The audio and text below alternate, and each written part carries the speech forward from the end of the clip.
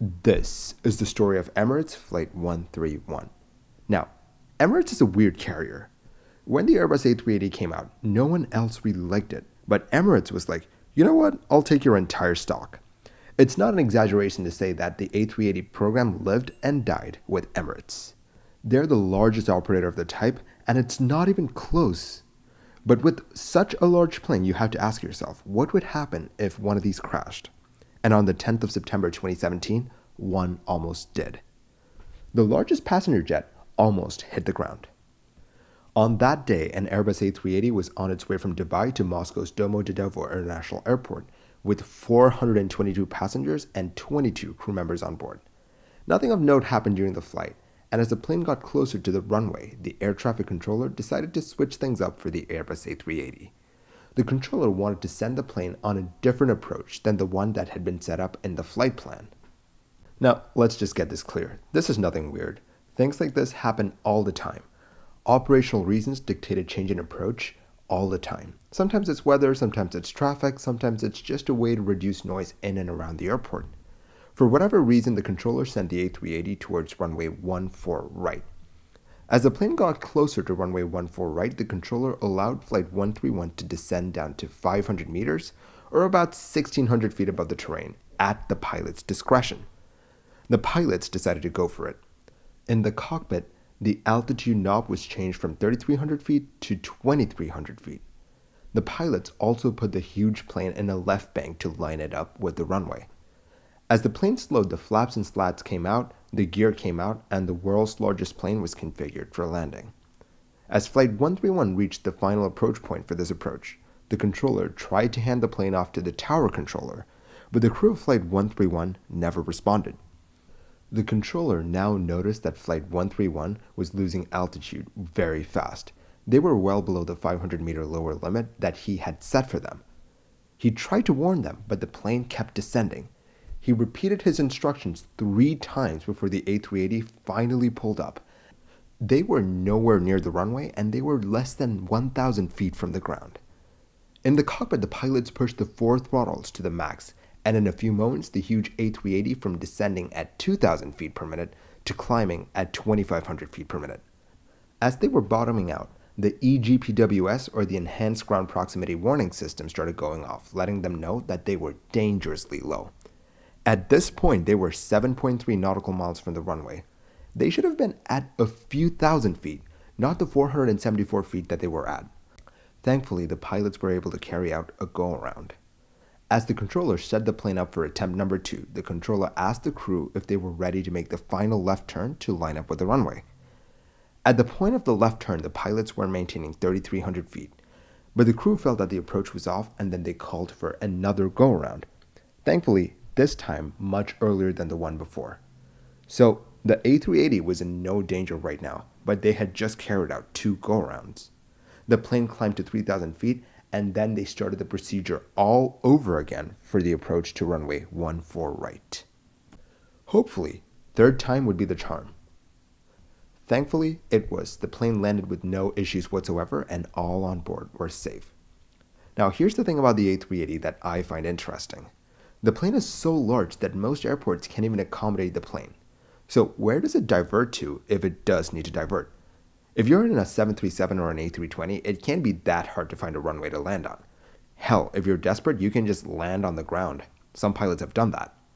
But where the hell do you land an A380? There can be a whole lot of airports that can support the A380. So what do pilots do? If you know, let me know in the comments below.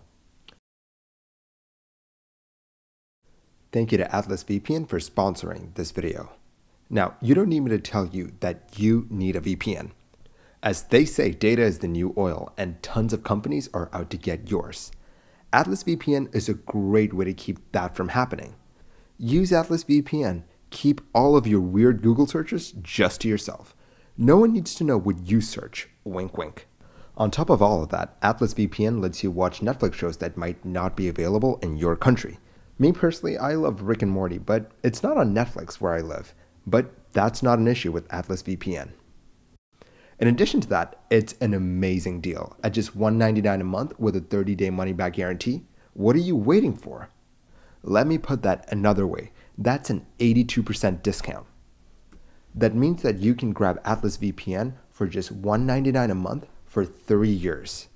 Join 6 million people who are using Atlas VPN to keep their browsing private. Grab Atlas VPN's special deal for 82% off with the link in the screen or in the description. Again, thank you to Atlas VPN for sponsoring this video. So now the question is, how did the world's largest plane almost slam into a Russian city? What the hell happened here?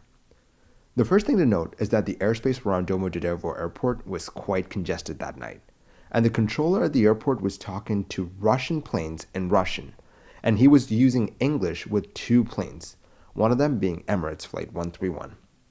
But here's the thing this meant that the pilots of Flight 131 did not have a really good idea as to who was in the area and who wasn't. This led to Flight 131 getting a bit too close to one of the planes in the vicinity, to the point where the pilots of Flight 131 had to slow down to maintain separation with the other plane. After the almost conflict was resolved, the controller then set the plane up for the approach to runway 14 right. He let them descend down to 500 meters or about 1500 feet, at their discretion Throughout all of this, the plane was under the control of the autopilot. The altitude hold mode, the heading mode, and the speed mode were all locked and active throughout this phase of flight. Then, once the airplane was closer to the airport, the LS or the landing system button was pushed.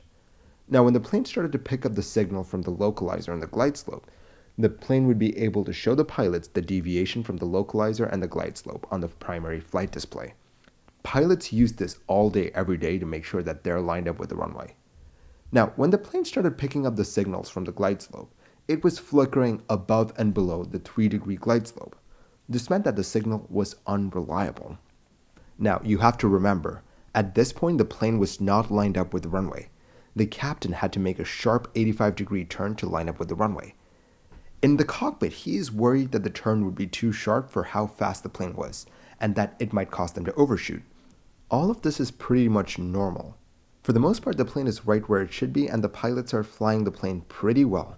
Well, except for one thing the plane is higher than the 3 degree glide slope that the pilot should be flying. Looking at the flight data recorder, they found out that the plane never really captured the glide slope or the localizer. The data brought up a lot of questions. For example, when the plane was a beam of a waypoint called AMTAM, the signal told the pilots that they were well above the glide slope, but in actuality, the plane was below the glide slope. Their instruments, for some reason, was telling them the exact opposite of what was happening. This problem did not go away. Later, the instruments told the pilots that they were on glide, but in actuality, the plane was more than 850 feet below where they should have been. For the rest of the approach until the go around, the plane just kept falling and falling further away from the glide slope that they should have been on. But why? We still don't have a good idea as to why all of this was happening. What was different about this approach than all the other ones that were done at this airport by other A380s? The flight data told the investigators that these pilots were trying to do something known as a glide slope interception from above. Now, usually you intercept the glide slope from below. You fly level, get on the localizer, then follow it all the way down to the runway. But these pilots were doing things the other way around. They were trying to get on the glide slope from above. Now, the difference might be subtle when written out like this, but intercepting a glide slope from above is vastly more difficult than intercepting it from below. It's a very precarious game of managing your airspeed, and if you do it wrong, you can fall very well below your glide slope. Now, here's one thing about an altitude interception from above you have to be established on the localizer before you attempt it. That is to say, that you have to be lined up with the runway. Now, these pilots had not intercepted the localizer when they started the procedure. This meant that when they did start picking up the signals from the runway for the ILS, they were outside what's known as the area of azimuthal coverage. Now, that sounds fancy and complicated, but it's basically the area where the signal from the ILS is the strongest. Usually, when pilots start using data from the ILS beacons, they are well within this area. But due to the way this approach had been flown, the pilots started using the information from the ILS when they were outside the azimuthal coverage region. Now, this is one problem. The data that you'd get from the instruments in the cockpit at this point would be unreliable. That's why their instruments told them that the plane was on glide when it was not. Then, After the plane had intercepted the glide slope, the first officer, who was the pilot flying, did not cross check the data being given by the instruments. The first officer was taking the data from the instruments as gospel, when it should not have been taken as gospel in the first place. Now, all of that's perfect. That all makes sense. But why did they have to go around during the second approach? Did the same thing happen a second time? Well, during the second approach, the captain was using the DIR TO function in the flight management computer to get the plane to a specific waypoint. Well, the DIR TO function is basically what it sounds like direct to. The plane flies directly to where it needs to go. But here's the thing the direct to function on the flight management system has this sort of unintended consequence. It turns off the localizer and the glide slope capture modes in addition to the altitude hold and the navigation modes. It also disengaged the second autopilot. The plane basically stops everything else that it's doing and then just flies directly to the waypoint selected. Now, this obviously destabilized the plane to the extent where they had to go around and then try again. Luckily for the 400 plus people involved, the Airbus A380 was able to land back safely on the third try. Despite the Airbus A380 being one of the world's largest planes, period, it has an impressive safety record. The video that I made more than a year ago talks about how the plane lost an entire engine and still kept flying over the North Atlantic. If you want to watch that video, I'll leave it up for you on the screen right now. Thank you for watching this episode of Mini Air Crash Investigation. If you like the videos that I make, do consider liking and subscribing. It will really help the channel grow. And don't forget, Atlas VPN is 82% off with 199 a month. Catch you guys later.